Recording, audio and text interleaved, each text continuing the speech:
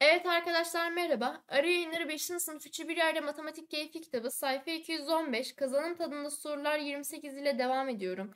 İlk sorumu büyüttüm ve ilk sorumda bana demiş ki yukarıdaki şekilde verilenlere göre aşağıdaki noktalardan hangileri D, O, B'nin iç bölgesindedir? Bakalım arkadaşlar D, O, B neresi? D, O, B burası yani şu çizdiğim açı. Bunun iç bölgesinde olanlar benim bu taradığım yerde olanlar. Hangileri var arkadaşlar? N var, P var. Bakın N, P, L, C, M hangi şıkkımda var? C şıkkımda var. C'yi işaretledim. Sayfamı temizledim. İkinci soruma geçiş yaptım. Aşağıda verilenlerden aşağıda verilen açılardan hangisi dik açıdır? Arkadaşlar A şıkkında bakın birebirden gelmiş. B şıkkında burada da birebirden gelmiş. Dolayısıyla bunlar burada dik açı olur. B şıkkıma bakıyorum. Bunlar arkadaşlar dik açı değil dar açıdır. C şıkkımdaki ise dik açıdan daha büyük geniş bir açıdır. D'deki, D'deki de aynı şekilde geniş bir açıdır. A şıkkımdaki dik açı olmuş oluyor.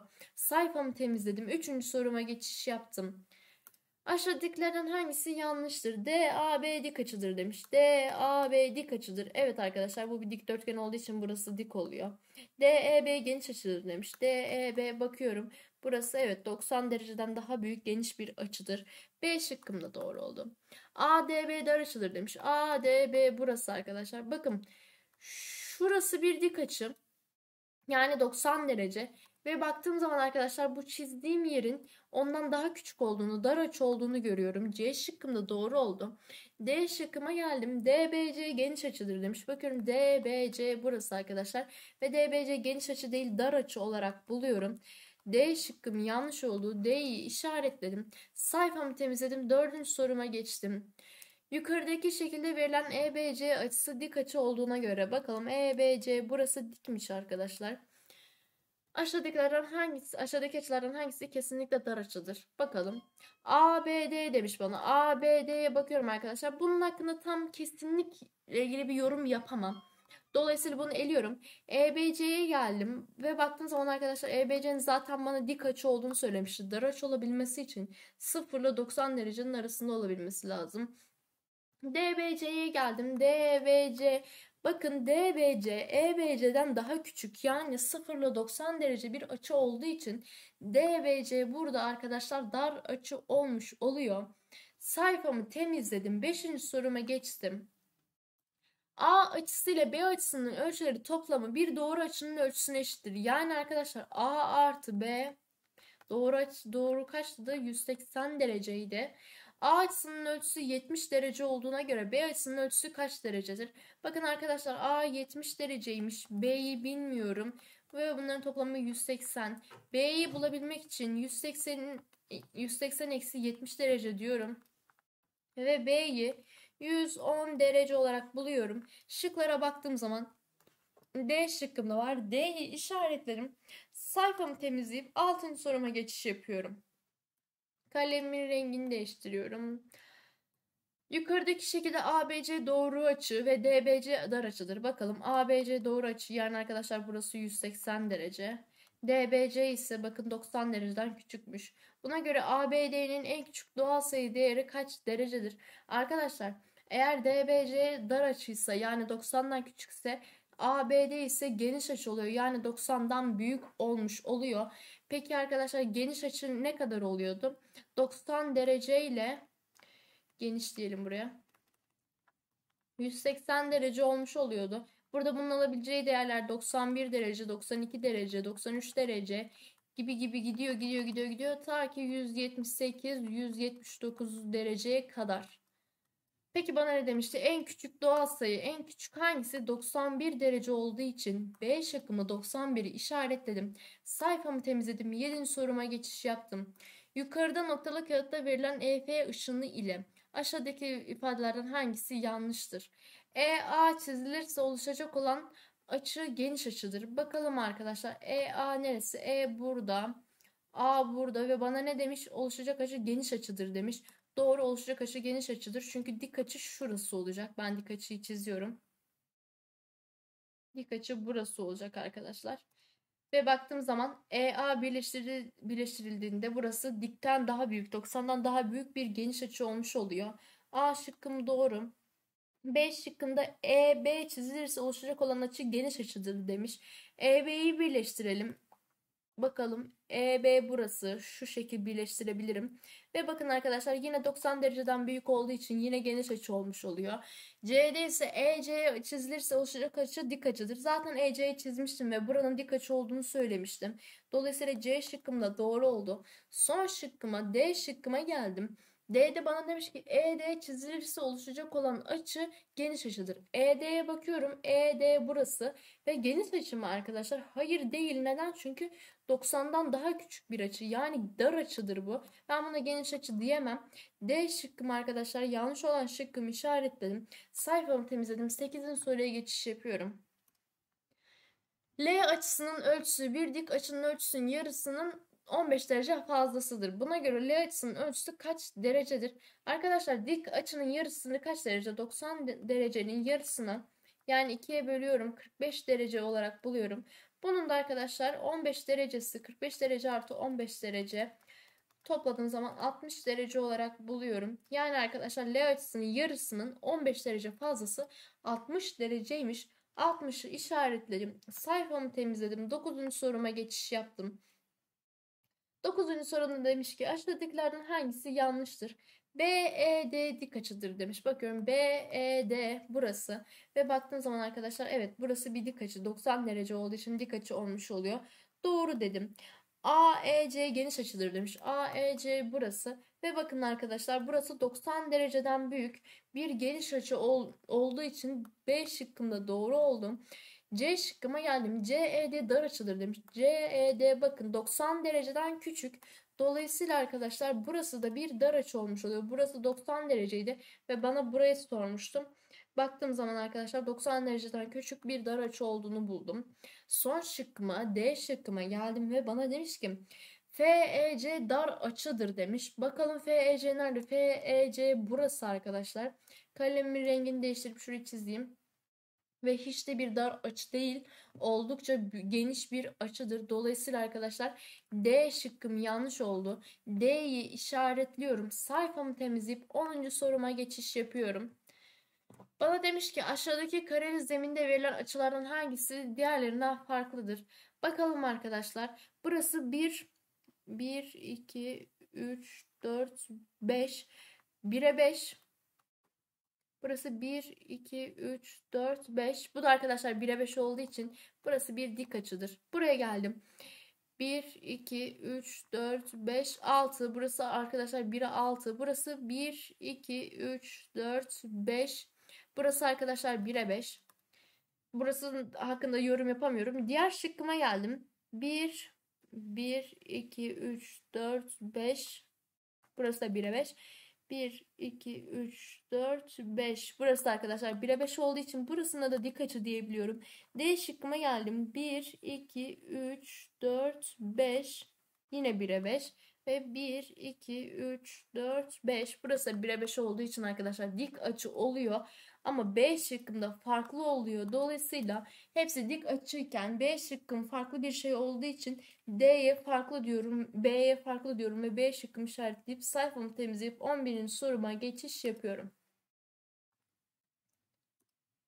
Yukarıdaki şekilde D, E, F doğruları veriliyor. Verilen, verilenlere göre aşağıdakilerden hangisi doğrudur? D ile F doğruları A ve C noktalarında kesişir. Bakalım D doğrum burada, F doğrum burada ve nerede kesişiyormuş arkadaşlar? B noktasında kesişiyormuş. Dolayısıyla A şıkkım yanlış. E ile D doğruları. Bakıyorum E doğrum benim nerede? Kalemin rengini değiştiriyorum. E doğrum burada, D doğrum burada. Ve A noktasında kesişmiş olduğunu görüyorum bu iki doğrunun. Dolayısıyla A şık A doğru oluyor. Yani B şıkkım doğru. B'yi işaretledim. Diğer şıklarıma bakıyorum. C, D ve F doğruları A, B, C noktalarında kesişir. Arkadaşlar üçünün de bir arada kesiştiği, üçünün de aynı noktada kesiştiği bir yer yok. Dolayısıyla C şıkkım yanlış oldu. D ile F doğruları kesişince AB oluşur demiş. Sayfamı birazcık temizleyip bakalım. Benden D ile F doğrusunu istedi. D ile F doğrusu kesişince bakın burası. Arkadaşlar bir noktada kesiştiği için burası bir ışın burası bir doğru parçası falan olamaz. Dolayısıyla D şıkkımda yanlış oldu. Sayf B şıkkımı işaretledim. Sayfamı temizledim. 12. soruya geçiş yaptım. Yukarıdaki şekilde OC ile AD dik kesişiyor. BOD 65 derece. COB'nin ölçüsü kaç derece? Bakın arkadaşlar burası dikse buranın da dik olması lazım. Çünkü burada AOD bir doğru parçası yani 180 derece. Dolayısıyla burayı da dikledim. Orayı bana 65 derece vermiş. 90'dan 65'i çıkarıyorum. Ve çıkarma işlemi 25 derece olarak buldum. Dolayısıyla buradaki COB açısı 25 derece oluyor. C şıkkımı işaretledim. Sayfamı temizledim. 13'e geçiş yaptım. Yandaki şekilde verilenlere göre aşağıdakilerden hangisi yanlıştır? KLM noktaları DEF açısının iç bölgesidir. DEF bakıyorum. DEF burası arkadaşlar. İç bölgesi neresi? Buraları KLM noktaları. Dolayısıyla A şıkkım doğru oldu. B şıkkıma geldim. Şurayı temizliyorum. B şıkkımda bana demiş ki DMN noktaları BAC açısının iç bölgesidir. Bakalım BAC burası ve burayı boyuyorum. Burada MNE noktasını buluyorum. D noktası BAC açısının iç bölgesinde değildir. Dolayısıyla B şıkkım yanlış oldu. Diğer şıklarımı kontrol edelim. C şıkkımda bana demiş ki D ve F noktaları BAC açısının dış bölgesidir. Bakalım arkadaşlar BAC'nin dış bölgesi şurası oluyor. Yani buraları oluyor. D ve F noktaları bunun dış bölgesinde olmuş oldum. C şıkkım da doğru oldu. Sayfamı temizleyip D şıkkıma son şıkkıma geçiş yapıyorum. BC noktaları DEF açısının dış bölgesidir. DEF'ye bakıyorum. DEF burası ve bunun dış noktaları bakın BC noktaları olmuş oldum. D'yi de doğru buldum. Yanlış olan şıkkımı B şıkkımı işaretledim. Sayfamı temizliyorum. 14. soruma geçiş yapıyorum. Yandaki şekilde AB, BC ve AC doğruları veriliyor. Verilenlere göre aşağıdakilerden hangisi doğrudur? ABC'nin derecesini, açısını bana 65 derece demiş. Bakalım ABC. Bakın arkadaşlar 65 değil 75. Dolayısıyla A şıkkım yanlış oldu. BCA, BCA açısını 40 derece demiş. BCA açısına baktığım zaman 65 derece vermiş. 40 değil 65 oluyor. B şıkkımı da işler, yanlış olarak eledim. C şıkkıma geldim. BAC, BAC'ye bakıyorum ve 40 derece demiş. Doğru arkadaşlar. C şıkkım doğru oldu. C'yi işaretliyorum. Sayfamı temizleyip 15. soruma geçiş yapıyorum. Yukarıdaki şekilde OM KP olduğuna göre aşağıdakilerden hangisi her zaman doğru değildir? Bakıyorum OM burası ve KP burası arkadaşlar. Yani burası ile burası 90 derece. LOM dar açıdır demiş. LOM'ye bakıyorum. Burası bir dar açı oluyor arkadaşlar. Neden? Çünkü bakın buradaki dikten daha küçük. Dolayısıyla A şıkkım doğru oldu. Her zaman doğrudur. MOP dik açıdır demiş. MOP bakın arkadaşlar zaten ben sorunun başında diklik vermiştim. Dolayısıyla her zaman burası diktir. LON geniş açıdır demiş. LON arkadaşlar bunun için her zaman diye bir şey söyleyemem. Bazen dar açı olabilir, bazen dik açı olabilir. Dolayısıyla C şıkkımı işaretliyorum. Her zaman doğru değildir çünkü. D şıkkıma baktım. LOP geniş açıdır. Bakın LOP bakın burada bir 90 derece var. Ve ondan daha fazla olduğu için buraya ben geniş açı diyebiliyorum. D şıkkımda doğru oldu. C şıkkımı işaretledim. Sayfamı temizledim. 16. soruma geçiş yaptım. Yandaki açının BA kolu ok yönünde açılacaktır. Buna göre aşağıdakilerden hangisi yanlıştır? 45 derece açılırsa ABC açısı dik açı olur. Bakalım arkadaşlar. Eğer 45 derece açılırsa bu açı şuraya gelir. Bu açı buraya gelir. Ve şurası da 45 derece olur. 45 artı 45'ten burası 90 derece olur ve dik açı olmuş olur. A şıkkım doğru. B şıkkıma 50 derece açılırsa ABC açısı geniş açı olur diyor. 50 derece açalım. 45'ten bir tık daha fazla açacağım. Yani şuraya getireceğim. Ve burası arkadaşlar totalde 50 derece olmuş olacak. Baktığım zaman 90 dereceden büyük, 180 dereceden küçük olduğu için geniş açı olmuş olur. B'yi de eledim.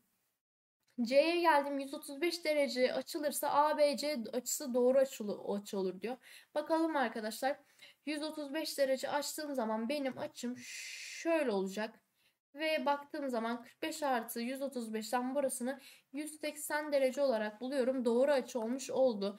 C şıkkım da doğru. Son şıkkıma D şıkkıma geldim. 215 derece açılırsa ABC açısı geniş açı olur. Arkadaşlar 215 derece açılırsa toplamda bakalım kaç derece oluyor? 260 derece olmuş oluyor. Geniş açının kuralı neydi? 90 derece ile 180 derece arasında olması gerekiyordu. Bu 180'den büyük olduğu için ben buna geniş açı diyemem. Dolayısıyla D şıkkım yanlış oldu. D'yi işaretledim. Son soruma 17. soruma geldim.